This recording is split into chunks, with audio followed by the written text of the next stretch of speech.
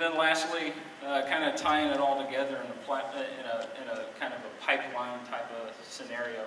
Um, We have, uh, you know, the source, where's the content coming from? Uh, Blu-ray 3D is, is uh, uh, what Andy talked about, uh, a source of content, uh, streaming content from the internet, as well as uh, in the gaming space. We also need applications uh, developed using Media SDK, um, and all the, all the great options there that's in the Media SDK.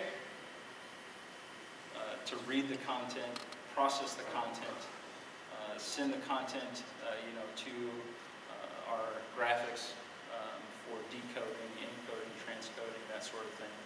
Then also within the uh, hardware, like, like I showed earlier, uh, you know, setting up for signaling uh, to either the panel or to the glasses, um, the appropriate signal to keep everything in sequence.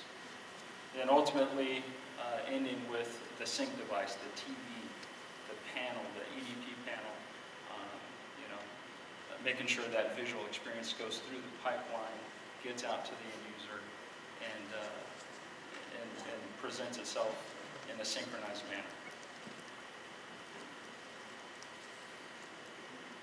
So both PC graphics and application, the whole stack uh, basically plays a very important role in making sure uh, 3D content gets out to the, to the end user uh, in the best possible uh, light, in the best possible scenario.